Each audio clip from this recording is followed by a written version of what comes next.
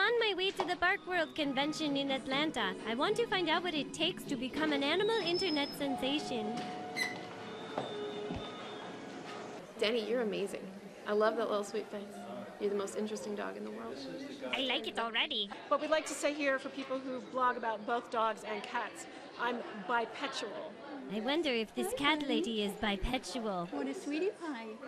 Would you like to wear cat ears? Would I ever? Would you like to be a leopard dog? What do they call you? The leopard lady. Well, I don't know if it's obvious or not, but uh, I've always loved leopards. I actually have a Bengal cat, and her name is Zoe, and I've kind of become her her persona, but as a person. the plate that he goes to, that winner will win 1,000 SPG points. I think that one's it. That's it. Number two. Uh oh, I'm feeling a number two right now. Get that camera off me. When I go on the internet, I like to look at dogs' butts. That goes for real life too.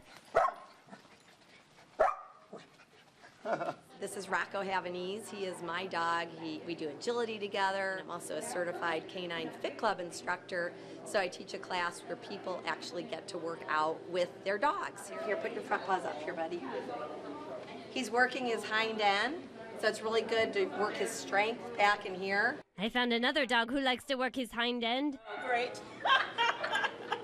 His name is Frankie Beans. I wouldn't say he's a diva at all. He's a boy. He likes to be dirty.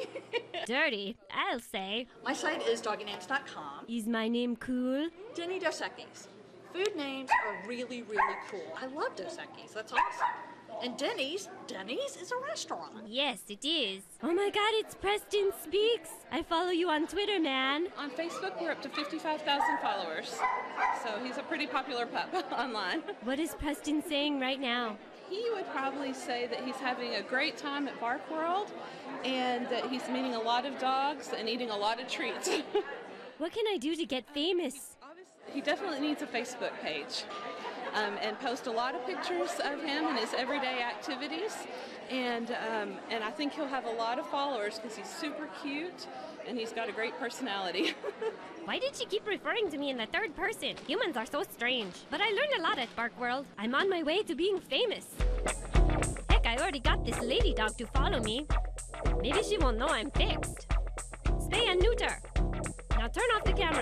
I've got to work on my blog.